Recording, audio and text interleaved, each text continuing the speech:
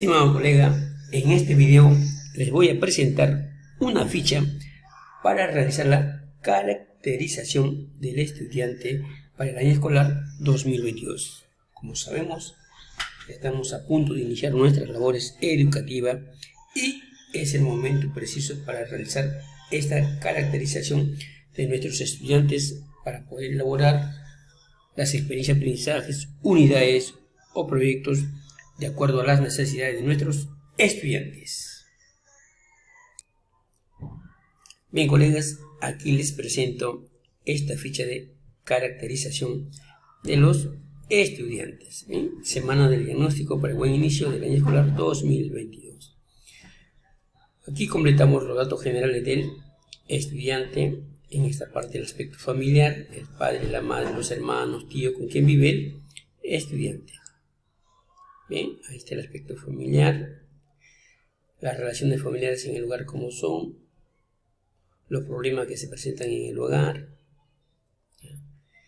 generalmente la dificultad de comunicarse con tu familia es por cuando haces tu tarea, quién te apoya. Entonces ahí tenemos los aspectos familiares, aspecto laboral y económico de la familia, en este caso del papá, en este caso de la, de la mamá, ¿ya?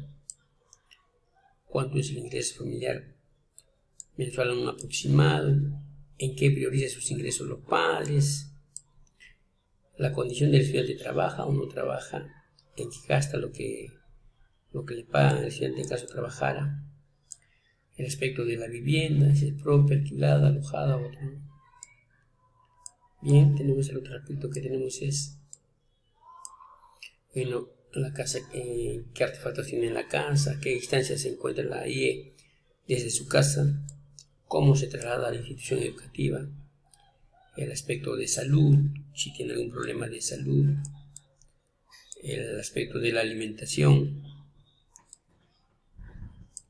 el aspecto académico, ya que está el aspecto académico, el aspecto emocional y el aspecto social, el aspecto personal y las habilidades. Bien, entonces esta ficha, estimados colegas, nos va a ayudar a caracterizar a nuestros estudiantes en diferentes aspectos para tomar en cuenta a la hora que vamos a elaborar nuestras experiencias de aprendizaje. Bien, estimados colegas, espero que este video y este material sea de su utilidad. Abajo en la descripción del video voy a dejar un enlace para que puedan descargar este material en Word y en PDF. Antes de terminar, les voy a pedir que compartan el video y se suscriban al canal. Gracias.